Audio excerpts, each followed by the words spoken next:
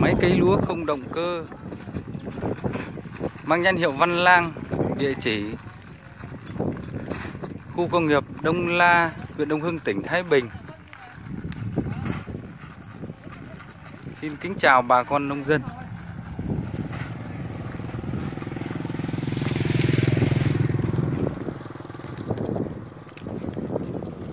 nấu để ra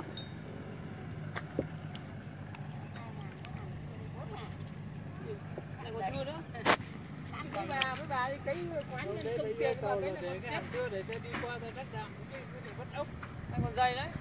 kia họ thấy kia có hai hàng này là một hàng xưa không đây là bốn hàng muốn cây rủi ro cây Cứ là vậy thôi. vậy Không muốn cây kiểu gì cây thì nó không. kể cả không cấy